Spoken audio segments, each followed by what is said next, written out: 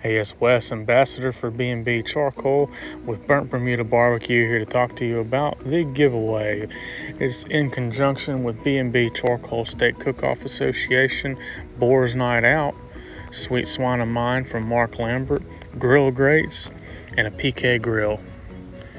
It's the perfect opportunity for you to learn steak because the barbecue champs is included in this giveaway as well as an entry for you to cook a steak cook off we are seasoning these three up. We're going to put the b&b charcoal's texas trinity on last. The second layer we used was the sweet rub of mine from mark lambert. And we started with a base of the boar's night out this one here is the white lightning it's delicious stuff. These we're just doing at home, so we didn't trim anything. We didn't tie them off or anything like that.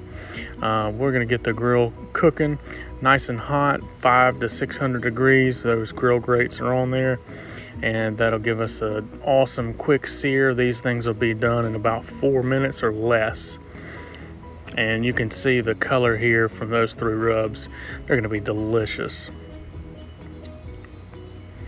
Uh, the grill grates are nice and hot, screaming hot. And let's put the steaks on.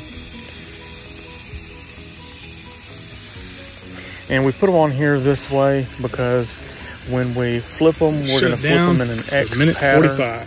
Um, that just helps to give that diamond shape when you're looking for your grill grate marks. And we'll flip them here.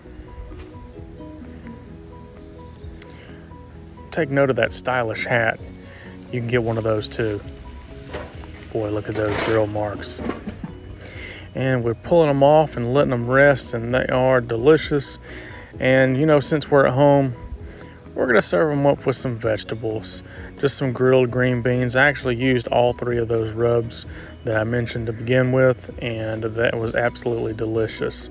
Go ahead and click the links here and go ahead and get entered because this drawing starts on April 15th.